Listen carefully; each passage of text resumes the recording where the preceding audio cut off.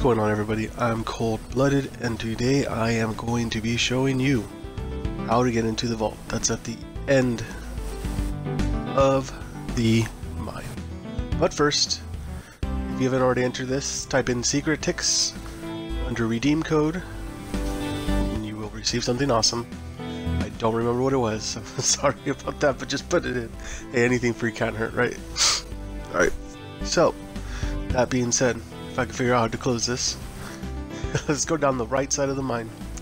Don't already know where this is, just go to the right and keep going straight. Hopefully you guys can walk straighter than I can, this is ridiculous. Alright, here it guys, here is the vault. Danger!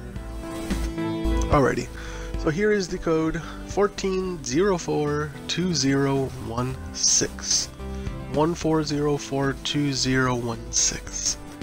Write that down, take a screenshot, do whatever you got to do, and then press enter. Enter.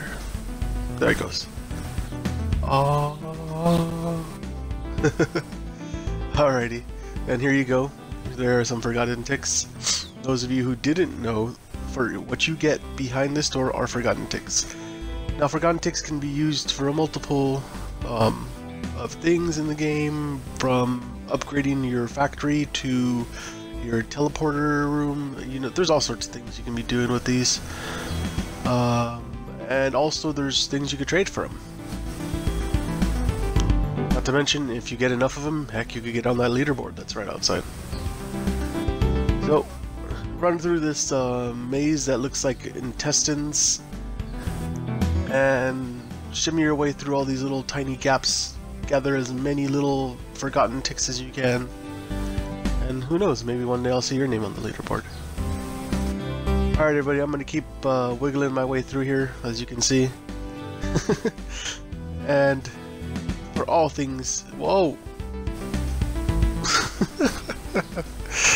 yeah, you, you, can fall down a few times in here. It's, it's pretty fun. Your guy just like locks up like a log and then... Bloop.